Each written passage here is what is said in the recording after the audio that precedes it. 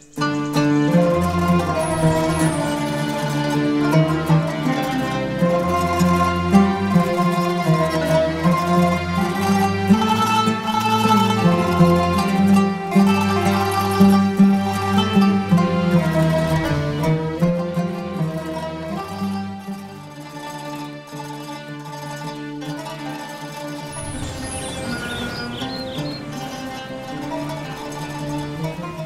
البولس فصل من رسالة معلمنا بولس الرسول إلى أهل روميا بركته علينا أمين.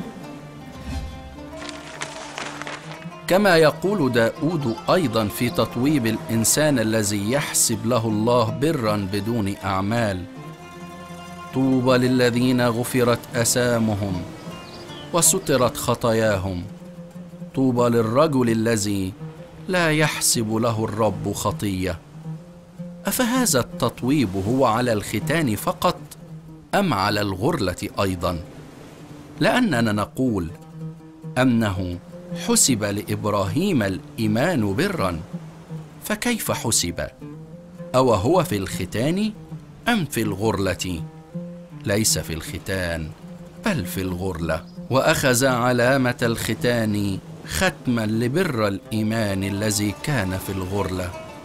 ليكون أبا لجميع الذين يؤمنون وهم في الغرلة كي يحسب لهم أيضا البر. نعمة الله الآب فلتحل على أرواحنا. يا أبائي وإخوتي جميعا آمين.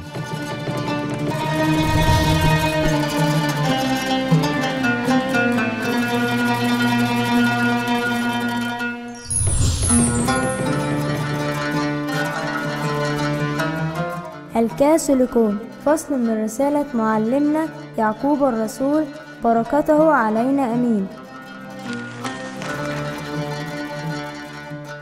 من أين الحروب والخصومات بينكم؟ أليست من هنا؟ من لذاتكم المحاربة في أعضائكم؟ تشتهون ولستم تمتلكون تقتلون وتحسدون ولستم تقدرون أن تنالوا تخاصمون وتحاربون ولستم تمتلكون لأنكم لا تطلبون. تطلبون ولستم تأخذون لأنكم تطلبون رضيا لكي تنفقوا في لذاتكم.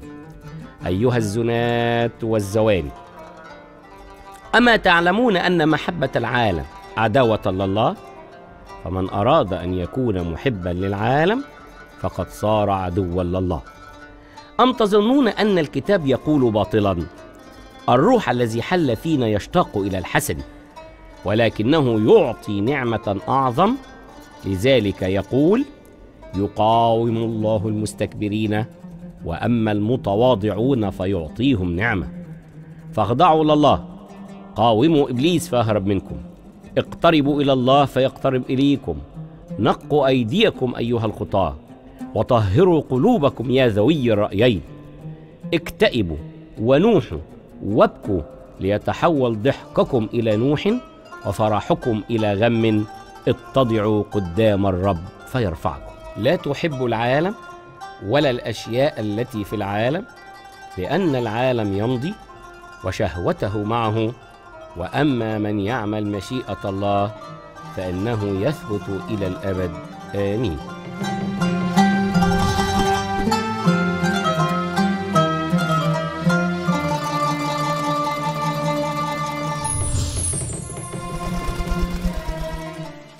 الإبراكسيس فصل من أعمال آبائنا الرسل الأطهار المشمولين بنعمة الروح القدس بركاتهم المقدسة فلتكن معنا أمين. ولما نجوا وجدوا أن الجزيرة تدعى مليطة فقدم أهلها البرابرة لنا إحسانا غير المعتاد لأنهم أوقدوا نارا وقبلوا جميعنا من أجل المطر الذي أصابنا ومن أجل البرد. فجمع بولس كثيرا من القضبان ووضعها على النار. فخرجت من الحرارة أفعى ونشبت في يده. فلما رأى البرابرة الوحش معلقا بيده قال بعضهم لبعض لابد أن هذا الإنسان قاتل.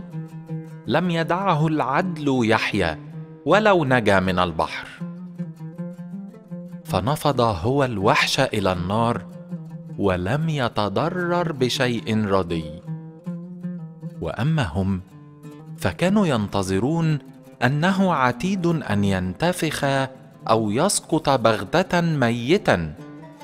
فإذ انتظروا كثيرا ورأوا أنه لم يعرض له شيء مضر تغيروا وقالوا هو إله.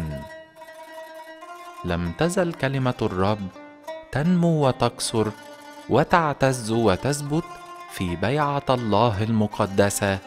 آمين.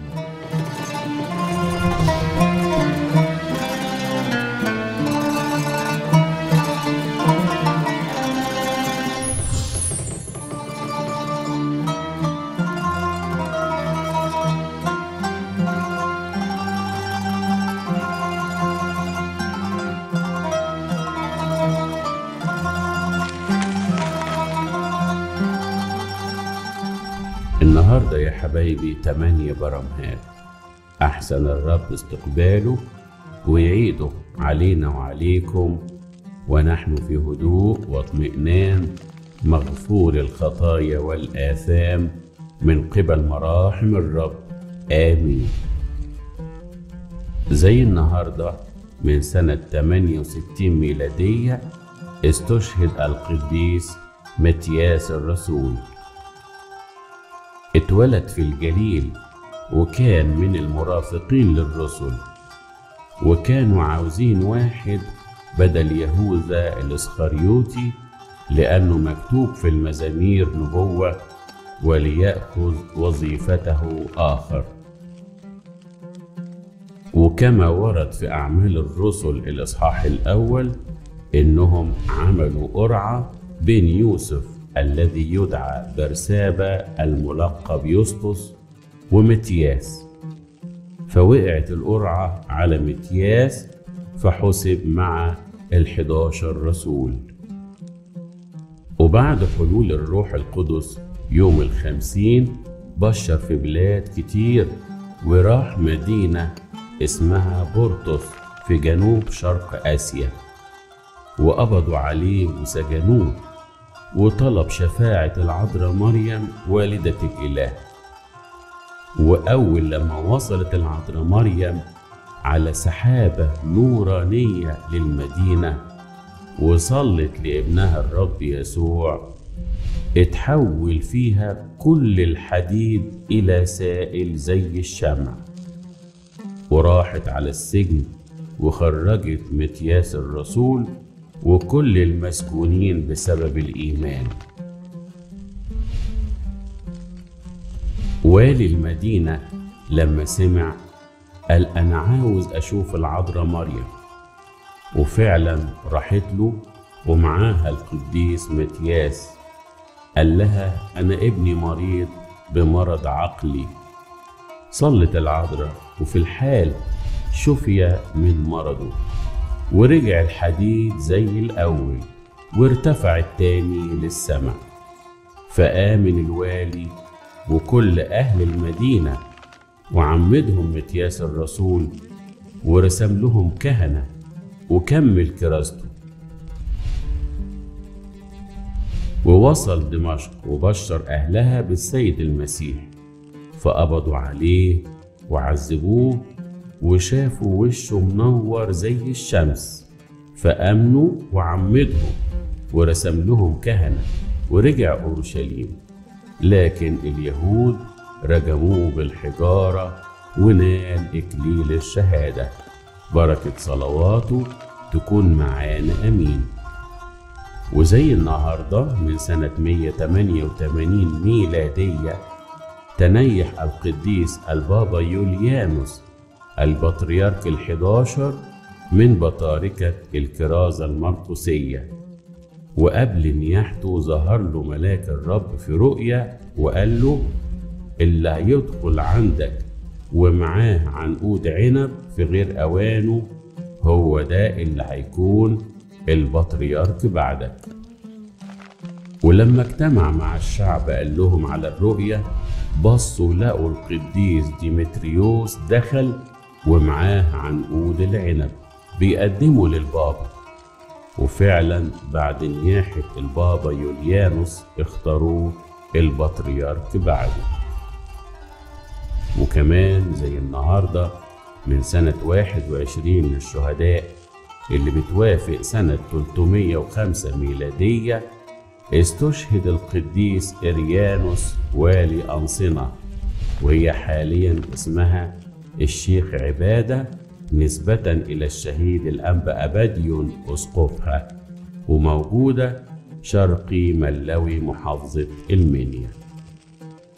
إريانوس كان والي ظالم وقاسي واضطهد مسيحيين كتير جدا وعذبهم. ولما القديس أبلانيوس اللي كان بيعزف له على المزمار أعلن إيمانه بالسيد المسيح أمر إريانوس بطعنه بالسهام فرجع سهم في عينه وفقدت البصر. وقال له واحد من المسيحيين امسح عينك بدم القديس. وفعلا رجعت سليمة فآمن بالسيد المسيح وكسر الأصنام. وعرف الملك دقلديانوس وعذبه. وهو بيتعذب قال للمسيحيين إنه شاف رؤية إن ربنا هيحافظ على جسده. لكن الإمبراطور رماه في البحر ونال اكليل الشهادة. وعلى شاطئ الإسكندرية المؤمنين شافوا درفيل شايل جسده ووصلوا لغاية الشاطئ. فأخدوه ووضعوه بإكرام جزيل مع أجساد الشهيدين فيليمون وأبلانيوس. بركة صلواته فلتكن معنا ولربنا المجد الدائم إلى الأبد. آمين.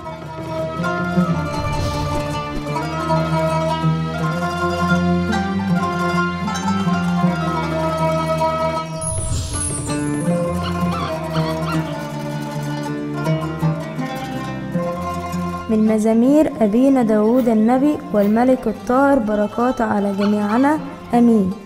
أما الرب فإلى الدهر يجلس ثبت للقضاء كرسيه وهو يقضي للمسكونة بالعدل يدين الشعوب بالاستقامة.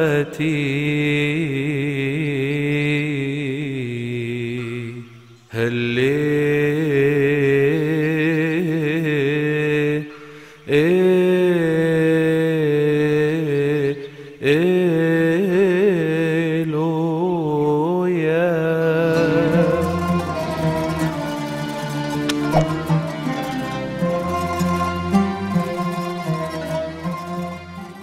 مبارك هو الآتي باسم الرب.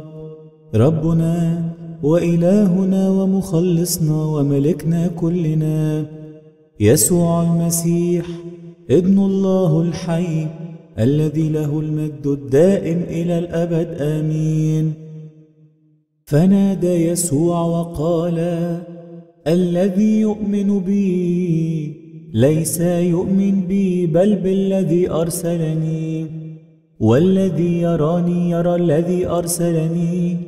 أنا قد جئت نورا إلى العالم حتى كل من يؤمن بي لا يمكث في الظلمة.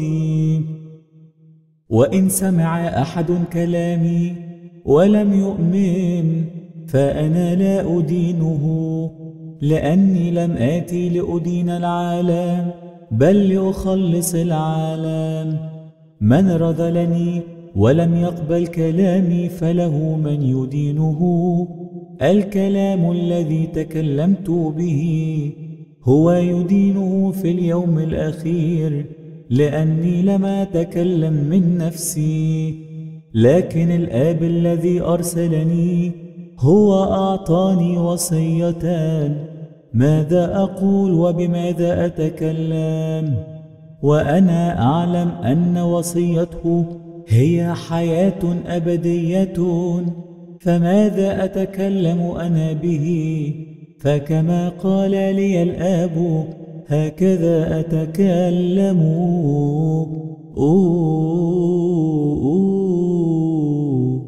والمجد لله دائما.